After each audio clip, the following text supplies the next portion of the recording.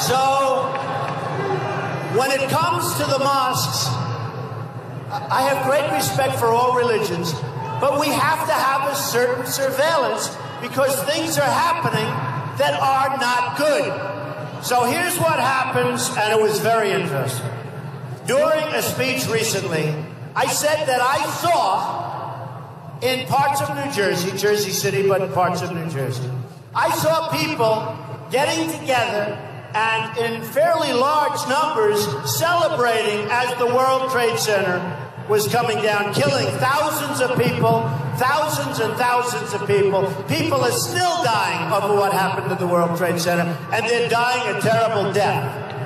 And I saw people, and I saw on television, and I read about it on the internet, and I read about it. So they said, oh, we can't find anything, Mr. Trump. The reporters are calling all day, all night. They want to find out, did Trump make a mistake?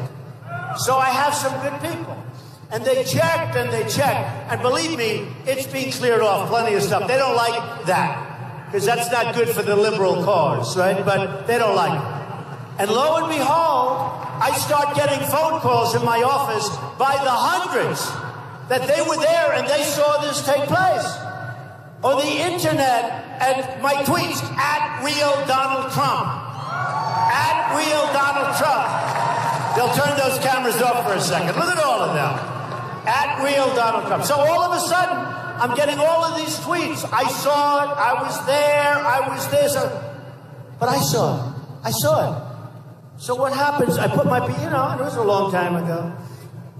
So September 18th. Now, you know, September 11th was one of the worst days, maybe the worst day in the history of our country. Worse than Pearl Harbor, because at least with Pearl Harbor, they were attacking the military. They were attacking ships and they were attacking the military. Here they're attacking civilians that had, I knew people, I know so many people that died in the World Trade Center. Unbelievable people, great people, friends of mine, unbelievable people.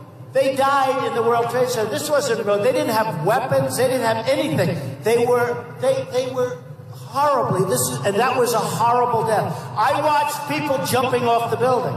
How would you like to be 102 stories up, and your choice is burn or jump. And many people jumped. And I witnessed it. I watched that. Because I had a view. I have a window in my apartment that specifically was aimed at the World Trade Center because of the beauty of the whole downtown Manhattan. And I watched as people jumped, and I watched the second plane come in. And I was watching television when the first plane hit. And they said, no, it must have been a boiler explosion, but I'm good at real estate. Boilers are not up there. Boilers are underneath, right? They're in the basements.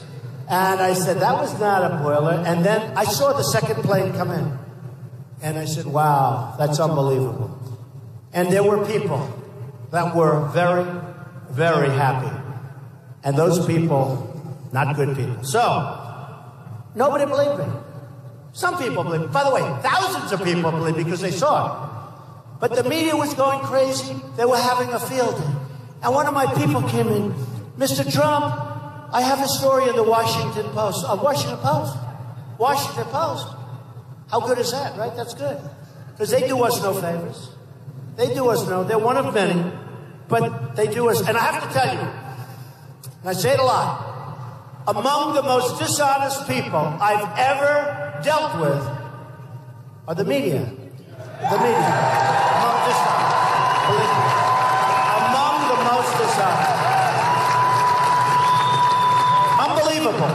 The level of dishonesty is unbelievable. Not everybody. I've met some incredible people. Those people right there with all the cameras going. And some are very good. And, you know, in all fairness, I've dealt with some very fair people. I've dealt with some really treacherous, horrible human beings that will quote you totally wrong things that you never even said.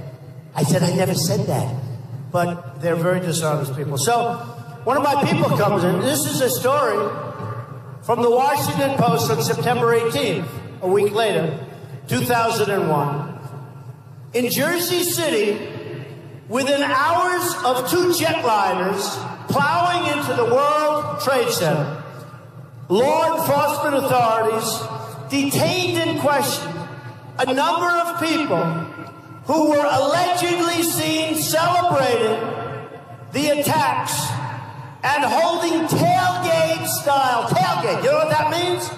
Tailgate. That means football games, Ohio State, thousands of people in parking lots, on roofs. Tailgate is a lot of people. Tailgate not two people.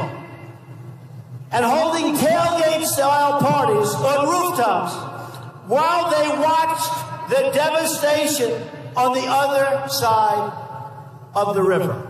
Okay? Washington Post. Washington Post. So they've come in, and we've received hundreds of phone calls in my office because it's become sort of a big subject. And they want to try and deny it, but you can't deny it. Many people in this room heard about it, probably saw it.